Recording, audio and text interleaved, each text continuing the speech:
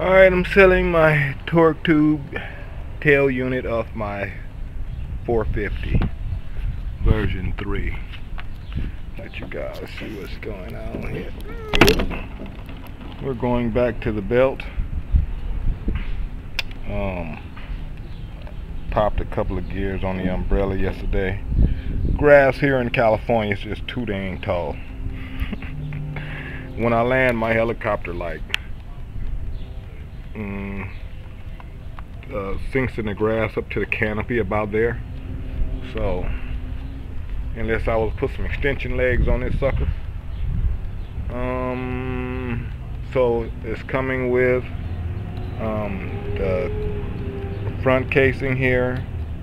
Um, I think I have some extra gears that go to this part, not the umbrella, and the shaft, also the shaft inside of the boom with the bearing.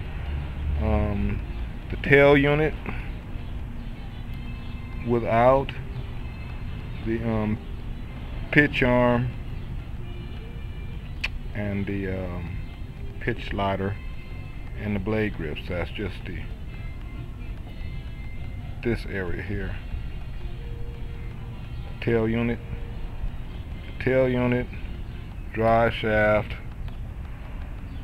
uh, front um, casing with the bearings in like that.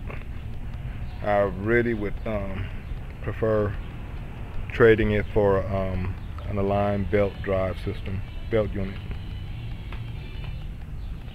That's what we're to have to do.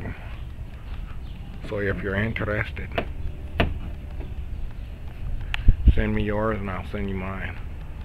Or you can have it for 65 bucks. Thanks for watching.